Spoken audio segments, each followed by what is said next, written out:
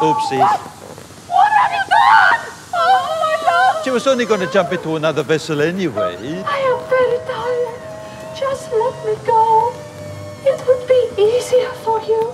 You have so much to do already without having to worry about me and my silly emotions. Yes, I have been very busy recently. But you have to understand, I have been working so fucking hard in that house to be taken seriously, to get anyone to give me any respect.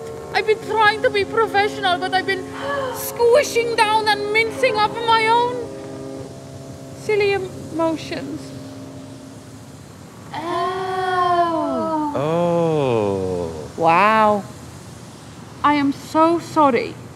It is not okay, and I am going to do better for you and for myself.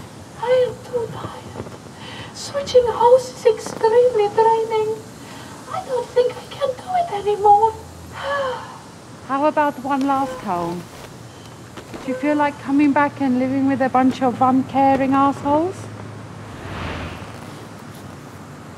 Okay, why not?